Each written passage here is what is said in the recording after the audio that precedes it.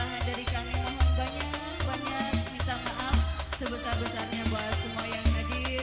Mobil khusus buat Bapak dan keluarga. Apabila ada kritikan dari kami sesuatu nilai plus bagi kami dan kekurangan suatu motivasi untuk menjadi yang lebih baik lagi. Assalamualaikum warahmatullahi wabarakatuh